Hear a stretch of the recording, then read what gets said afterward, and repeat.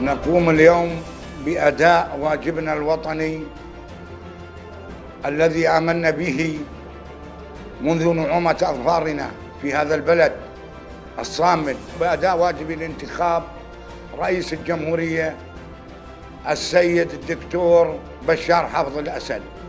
وأحيي قواتنا المسلحة. وهذا الرجل العظيم الذي حمانا في هذه القرية بسواعد مقاتلين الجيش العربي السوري.